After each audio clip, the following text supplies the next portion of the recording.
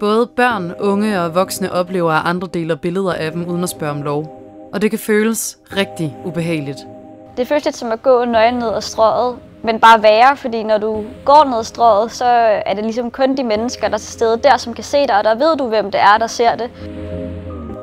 Men på internettet, der kan det være tusind mennesker, du ikke aner, hvem er, der ser på det og ser det igen og igen. Jeg har mødt en pige, der har fået delt 5-7 billeder. Hun vil ikke have, at alle ved, hvem hun er, så vi har slået hendes ansigt, og vi kalder hende et andet navn, Amanda.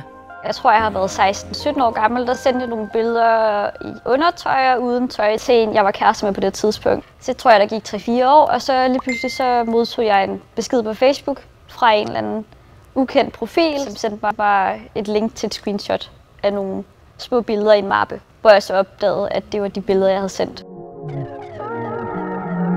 Så nogle år efter, hvad sker der der? Der begyndte jeg lige pludselig at få en masse venneanmodninger fra alle mulige fyre, forskellige aldre, som jeg ikke kendte, og nogle beskeder, som var meget grænseoverskridende. Jeg anmeldte og på en politistation, hvor at, øh, de var slet, ja, altså, de vidste ikke helt, hvad de skulle sådan anmelde det som.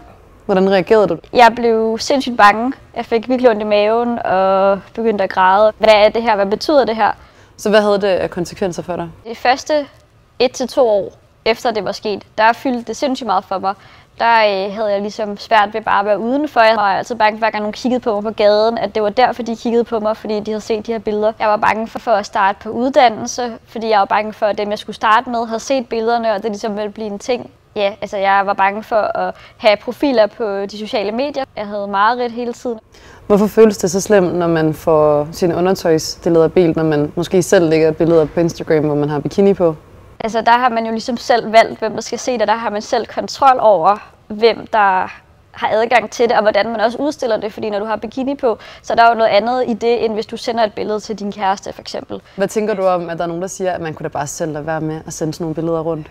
Altså, det er jo rigtig nemt at sige, tænker jeg umiddelbart. Hvordan er situationen i dag? Det er, at der stadig kommer beskeder ind en gang imellem, så det fortsætter der jo ligesom. Man tænker stadig på det hver dag, og man er stadig sådan bange når man åbner Facebook om morgenen. Man er bange for, at der ligger en eller anden beskedanmodning, så det bliver jo ligesom en del af ens liv. Men det bliver ligesom nemmere at, at leve med det. Tror du nogensinde, der kommer en dag, hvor du får lov at slippe helt for det? Nej.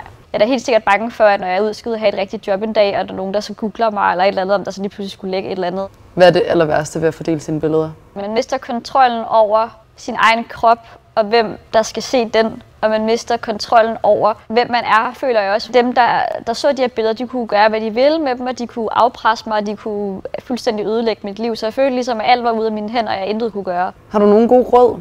Ha' respekt for de billeder, I modtager, eller hvad dele det med nogen. Siden Amanda fik delt sine billeder, er der kommet mere fokus på, at det altså er ulovligt at dele billeder af andre, uden at have fået lov. Politiet har fortalt på skoler, hvad man må og ikke må.